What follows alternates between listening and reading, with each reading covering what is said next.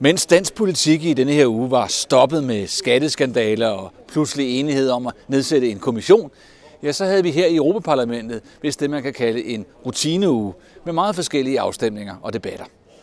FN har fået en meget anderledes generalsekretær, der er en trænet parlamentariker, meget afslappet og uhøjtidelig, og som kan holde en stilsikker tale baseret på stikord. We need to strengthen the capacity of the United Nations, both in conflict resolution and in preventing and sustaining peace, our new most important priority, but we will never be able to do it without a very strong support and commitment from the European Union. I am strongly engaged in the reform of the UN to be able to make the UN more effective, more cost effective, but more than anything else, to make the UN closer to the aspirations, the needs, and the perspectives of the peoples we are supposed to serve. Europa i flammer, radioprogrammet, som i sin tid blev startet af Socialdemokraten Dan Jørgensen og DF's Morten Messerschmidt, bliver nu bestyret af Jens Rode og Christel Schaldemose. Og her var den nye generalsekretær og FN's 17 verdensmål netop ugens samtaleemne. Som en sikkerhedspolitisk motor øh, fungerer det ikke. Men har det nogensinde gjort det? Det har det måske gjort lidt.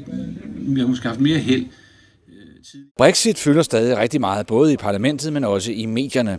Her er jeg i samtale med en lokal dansk tv-station. Jeg tror faktisk, at, at øh, bodelingen her, det vanskeligste spørgsmål i bodelingen rent politisk, det er pengene. Altså det, som vi lige har snakket om. Altså, mm. Fordi det er rigtig mange penge, ikke? Altså at aflevere ved kasse 1, før man overhovedet går i gang med at diskutere, hvordan det fremtidige ja. forhold skal være. Hvorfor Så jeg tror, at politisk set vil de vanskeligste forhandlinger, efter min mening, være, være der, hvor der er størst uenighed, og det er der omkring penge. Skal de nye online-platforme og streamingtjenester som Netflix underlægges kvoter for, hvor mange nationale tv-serier og film de skal producere og udsende? Det skændes vi om på tværs af grupper og grænser.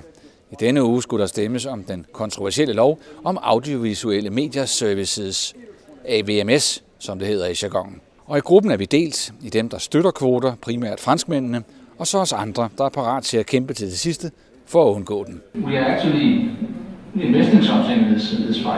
Ja, bortset fra slagsmålet her, så var det en stolt og glad gruppe liberale, vi så. Vi har leveret to ministre til Emmanuel Macrons nye regering, som blev dannet denne her uge. Sylvia Goulart fik den meget vigtige forsvarsministerpost, og Marielle de Sarnez blev assisterende europaminister. Og når vi nu er i det anekdotiske hjørne, det er jo den samme Sarnez, hvis plads jeg overtog i den store plenarsal, da jeg blev næstformand. Og det var den meget let liberale og meget selvbevidste dame bestemt ikke glad for. Så nu har vi fået klaret to problemer i et hug. Og jo, så var det jo også i denne her uge, at jeg annoncerede mit kandidatur til kommunalvalget i Gentofte, men det er jo en helt anden historie. Ha' nu en rigtig god weekend.